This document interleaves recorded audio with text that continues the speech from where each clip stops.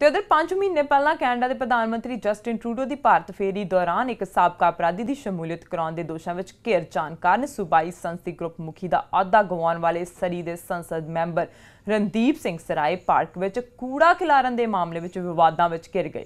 ਉਂਝ ਸੰਸਦ ਮੈਂਬਰ ਨੇ ਇਸ ਬਾਰੇ ਆਪਣੀ ਬੇਵਸੀ ਤੇ ਮਜਬੂਰੀ ਜਤਾਈ ਹੈ। ਸੰਸਦ ਮੈਂਬਰ ਹਾਲੈਂਡ ਪਾਰਕ ਸਰੀ ਵਿੱਚ ਕਰਵਾਏ ਗਏ ਸਾਲਾਨਾ ਬਾਰਬੀਕਿਊ ਸਮਾਗਮ ਦੌਰਾਨ ਖਾਣੇ ਦੀ ਰਹਿੰਦ ਖੂੰਦ ਤੇ ਪਤਲਾਂ ਦੇ ਖਿਲਾਰੇ ਦੀ ਸਫ਼ਾਈ ਨਹੀਂ ਕਰਵਾਈ ਗਈ। ਜਿਸ ਕਾਰਨ ਬਦਬੂ ਆਉਣ ਲੱਗੀ ਤੇ ਇਸ ਦੀਆਂ ਤਸਵੀਰਾਂ ਸੋਸ਼ਲ ਮੀਡੀਆ ਤੇ ਵਾਇਰਲ ਹੋ ਗਈਆਂ। ਅਗਲੇ ਦਿਨ ਸੰਸਦ ਮੈਂਬਰ ਨੇ ਸਫ਼ਾਈ ਦਿੰਦਿਆਂ ਕਿਹਾ ਕਿ ਸਮਾਗਮ ਤੋਂ ਤੁਰੰਤ ਬਾਅਦ ਉਹਨਾਂ ਨੂੰ ਆਟਵਾ ਜਾਣਾ ਪਿਆ, ਜਿਸ ਕਰਕੇ ਉਹ ਸਫ਼ਾਈ ਨਹੀਂ ਕਰਵਾ ਸਕੇ। ਸਰਾਏ ਨੇ ਕਿਹਾ ਕਿ ਉਹਨਾਂ ਕੋਲ ਪਿਕਨਿਕ ਲਈ ਇੱਕ ਸਿਟੀ ਪਰਮਿਟ ਹੈ। ਸਿਟੀ ਨੇ ਉਹਨਾਂ ਨੂੰ ਸਾਰਾ ਕੂੜਾ ਵੇਸਟ ਬਿਨ ਕੋਲ ਰੱਖਣ ਨੂੰ ਕਿਹਾ ਸੀ ਤੇ ਕਿਹਾ ਸੀ ਕਿ ਉਹ ਇਸ ਨੂੰ ਚੁੱਕਣਗੇ। ਉਹਨਾਂ ਇੱਕ ਵਾਰ ਕਿਹਾ ਕਿ ਮੈਨੂੰ ਅਫਸੋਸ ਹੈ ਜੇ ਇਸ ਨਾਲ ਕਿਸੇ ਨੂੰ ਕੋਈ ਗੜਬੜ ਜਾਂ ਅਸੁਵਿਧਾ ਆਈ ਹੋਵੇ।